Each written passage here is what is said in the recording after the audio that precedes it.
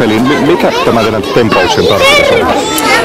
Tempauksen tarkoitus on näyttää päättäjille, että, että meitä maalla asuvia on paljon ja me ollaan huolissamme siitä, että koulut suunnitellaan tai on ehdotettu lakkautettavaksi. Tessioen koulut sekä Pärnökyrkkyyskuulan. Miten sä arvelet, luuletko, että, että teillä on mahdollisuus vaikuttaa päättäjiin vielä? virkamiehet ovat sanoneet, että, että meillä olisi mahdollista vaikuttaa tähän, että jos olemme aktiivisia. Todellisuudesta en tiedä, mutta toivon, että voimme vaikuttaa tällä tavalla. Eli mikä teidän viesti päättäjille on täällä tänään? No viestihän on ihan selvä, että me haluamme, että koulut pysyy, pysyy kylissä, ja, koska me tarvitaan kouluja, että kylät pysyy elävinä että saadaan lisää asukkaita ja porukkaa sinne. Että ilman kouluja niin ei ole muuttajiakaan. Kiitos. Okei, minkä takia te olette täällä tänään? Koska meidän, me halutaan, että meidän koulu ei suljeta. Joo. Etkö sä haluaisi tulla tänne Lovisaan kouluun? Onko teillä hyvä koulu siellä Tesiolla? On. Mikä teidän viesti päättäjille tänään täällä on? No ensinnäkin se verkkoselvityksen äh, säästöt, mitä siinä on kuvattu, niin, niin, niin tietysti niin se on kova paine sivistyspuolelle 500-600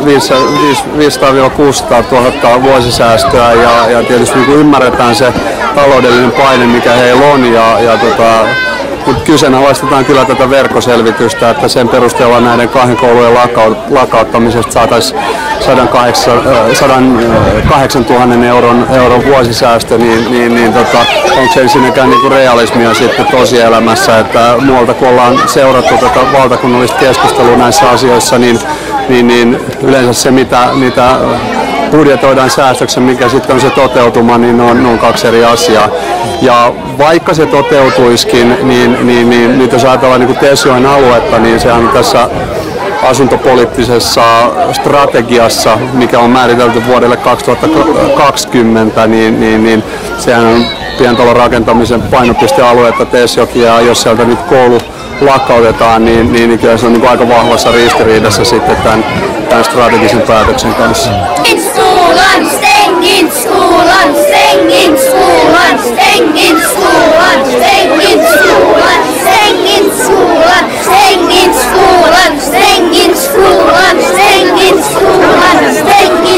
Tesiolta on Tesion koululta matkaa tänne keskuskoululle, niin onko 5-6 kilometriä, niin sitä luokkaa, joo, niin, tota, niin, niin. Mikä, mikä, mikä siinä on, että haluatte te lapsena tämmöisen pienen kouluun?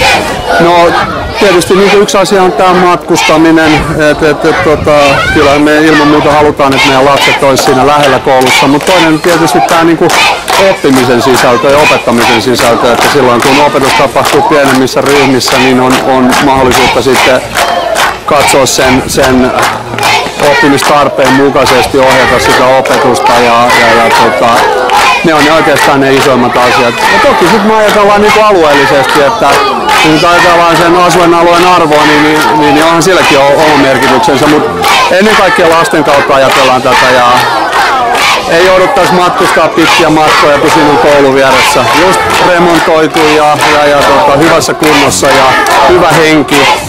Ja, tota, ilman muuta halutaan, että se säilyy siellä.